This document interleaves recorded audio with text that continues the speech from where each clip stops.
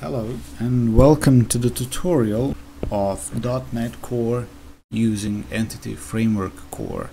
This is a getting started video, so in this video I will cover the goal of the project and won't do much regarding the specific code. So if you're looking for something specific to find out regarding Entity Framework or .NET Core, you might want to check out the rest of the videos.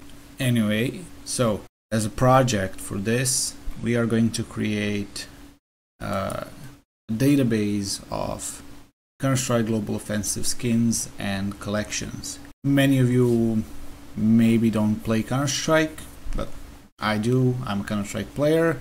This is something I relate to, so it was easiest way of selecting a project that I actually want to work on and that is a good start. If you if you want to get into something it's better to start from something that you already love and try to utilize that inside your project. So each weapon has a skin. Each skin has specific quality specific rarity specific and it comes from a specific collection.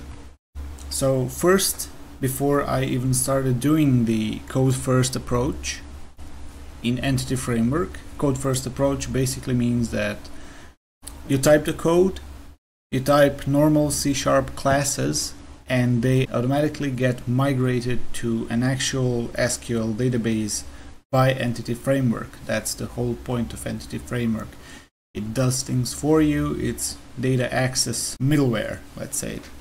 Inside Access, I have created a database schema. So we have a weapon, it has a name, it has a description, and it has a type.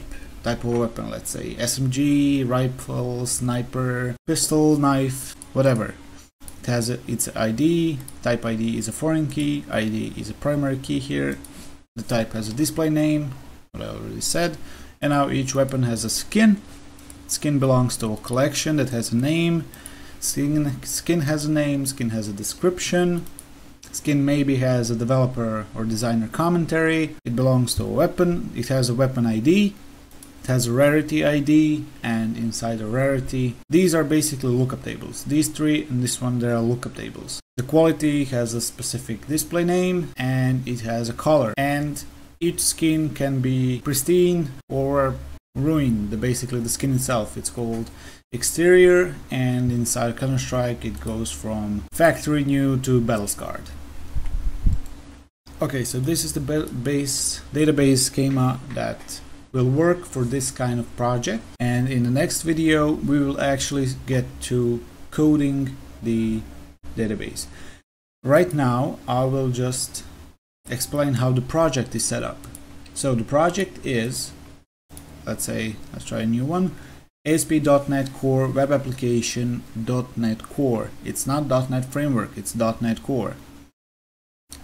And when you create the project, you have to select no authentication because there's no login here, you don't have to authenticate yourself. And once the project is set up, you have to go to References, Manage NuGet Packages, and from here you will have to install Entity Framework. So from browse, just find Entity Framework, but you will need Entity Framework Core, which is already installed if I'm not mistaken. Yes, Entity Framework Core already installed. If not, install it. You will need this.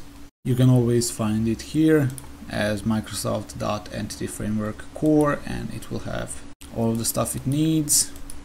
When you do that, just create a new folder called data create a new file called create a new file by right clicking add class and create a file called app db context. This is going to be the file that will have all of our database models as classes inside of it. We'll get to this in the next video